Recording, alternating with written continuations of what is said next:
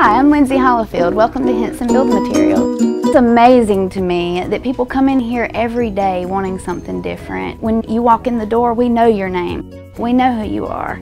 We know what you might need. If we don't know, they tell us and we get it. There's no reason to go to another store when you can get everything you need here at our store. If we don't have it, we can get it. We want people to know that we have more than lumber. We're more than just a lumber yard.